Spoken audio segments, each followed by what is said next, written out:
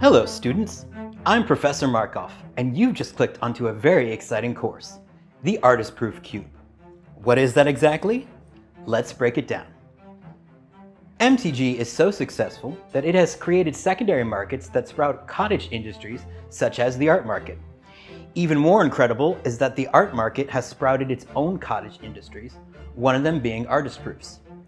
In simplest terms, artist proofs are sample printings of magic cards given to the artists who made them prior to their release.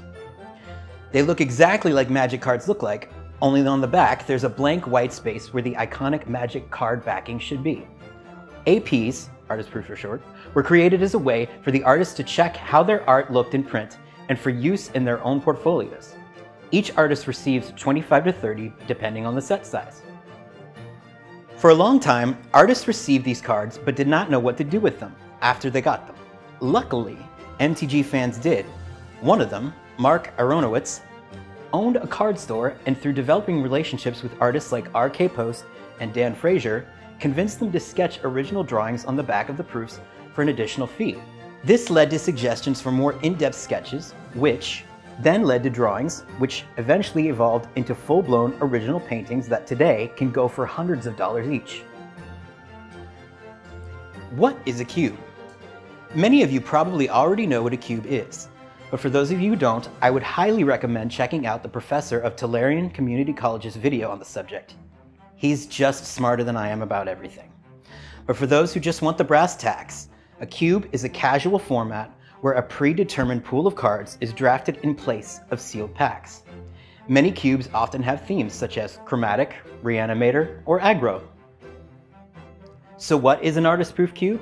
It's exactly what it sounds like, a cube built entirely of magic cards with artist proofs.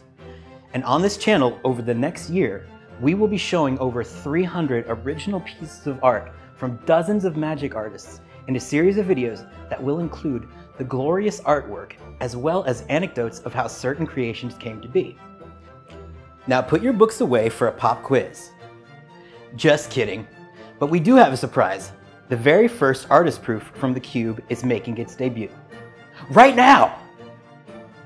We have Thragtusk, a 5-3 creature beast which costs 4 and a green, and when it enters the battlefield, you get 5 life, and when it leaves the battlefield, it creates a 3-3 green beast creature token. And here is Nils Hamm's breathtaking rendition of Thragtusk from another angle. It is absolutely gorgeous.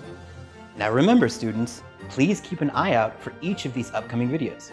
Not only are they going to be amazing, but there will be prizes along the way and a grand finale that will lead to someone joining us to play with the cube in person. Don't worry, I won't bite. Not without permission. Or until I make tenure. Whichever comes first. Well, students, that concludes today's class on the intro to the Artist Proof Cube. If you have any questions or things to add, please leave them in a comment section below.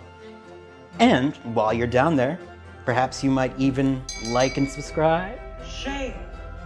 I saw who that was. Okay, cameraman? And I will see you after class. As for everyone else, until next time, I got a scoop.